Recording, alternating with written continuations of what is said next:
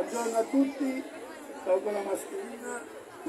Hanno già ringraziato tutti quanti, hanno fatto pure meglio di me, quindi vi invito, ecco facciamo così per ringraziare tutti quelli che si sono interessati per questa bella manifestazione, alziamo lo sguardo al cielo e spariamoci un grande bacio, eh? proprio a ringraziamento ecco, di tutti quelli che si stanno interessando nel mondo per, per la pace.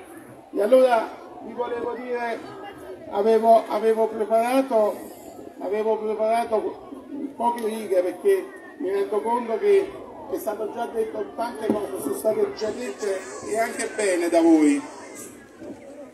Ma volevo vicino a me quel ragazzo che ha presentato, se c'è possibilità da parte tua perché dopo ti devo riprendere, ma no, non come sindaco, come docente, eh, poi vi spiego perché, eh, poi vi spiego perché. Allora, ecco, avevo detto, eh, avevo ragione perché ho scritto prova, prova una grande gioia questa mattina nel vedere tanti giovani impegnati in un appuntamento come questa marcia per la pace che vuole essere un appello alla sensibilizzazione delle coscienze e alla difesa del valore più sacro che possediamo e al quale dovremmo sempre e comunque ispirarci. E la mia è una gioia doppia, dal momento che da questo palco non mi rivolgo a voi soltanto da sindaco di questa comunità, ma anche da docente e dunque da uomo consapevole che il nostro futuro è affidato solamente a voi. Sono per vocazione e professione al fianco e a contatto con i giovani e capisco cosa possa significare soprattutto per voi trovarsi ad essere spettatori in un'altra funesta pagina della nostra storia. Proprio mentre sembra che stiamo per metterci alle spalle quella pandemia che tanto ci ha logorato, ecco arrivare una guerra che ci vede costretti a ribadire il nostro diritto alla pace non soltanto un diritto, anche una cultura che in Europa abbiamo rivendicato con forza e che abbiamo raggiunto dopo il prezzo davvero caro pagato in passato. Si parla di pace, si parla di pace, se ne parla ovunque, tanto che la parola ha perso persino il suo significato intrinseco e diventa una parola vuota, o peggio, si usa per indicare persino l'opposto per situazioni di comodo.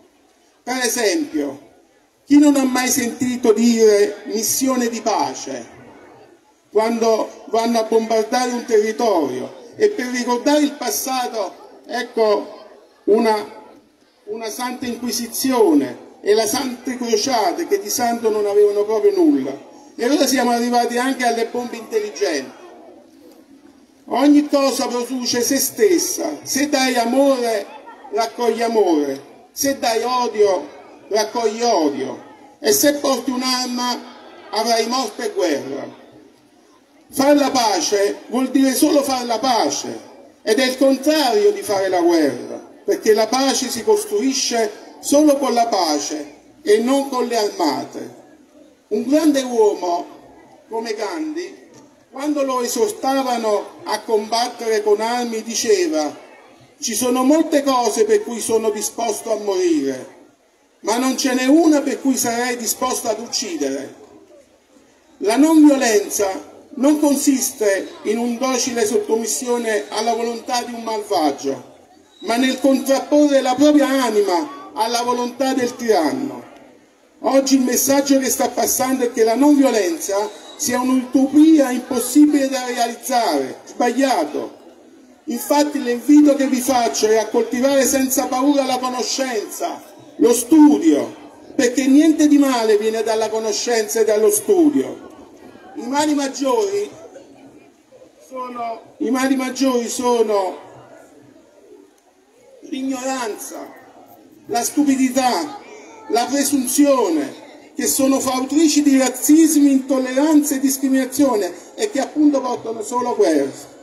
E allora è giusto rivolgersi proprio a voi ragazzi, perché a voi che affidiamo il testimone di un'umanità diversa e di un futuro migliore. Dovunque vi troviate, qualsiasi cosa vi riservi il domani, fatevi sempre portavoce di ideali e valori quali appunto la pace e la giustizia. A miei concittadini ribadisco la necessità di essere vicini a chi in questo momento attraversa un periodo di indicibile difficoltà e dolore, ma l'altruismo e la generosità della comunità isolana è sempre emersa nel momento del bisogno. È veramente bello vedervi stamattina qui. In momenti come questi mi sento più che mai orgoglioso di essere il vostro sindaco.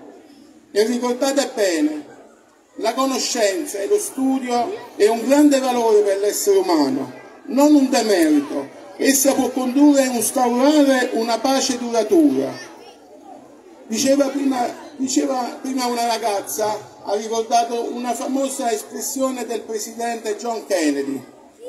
John Kennedy diceva appunto si deve porre fine alla guerra, o la guerra porrà fine all'umanità. Questo è quello che mi sento di dire. Riguardo a te, stamattina hai esordito dicendo così, noi ci proviamo, ce la mettiamo tutta, vuole essere una, un piccolo segno, non è vero. Questo segno te lo devi portare stamattina nel tuo cuore, lo devi stringere con forza, perché stamattina hai ottenuto una grande cosa. Complimenti.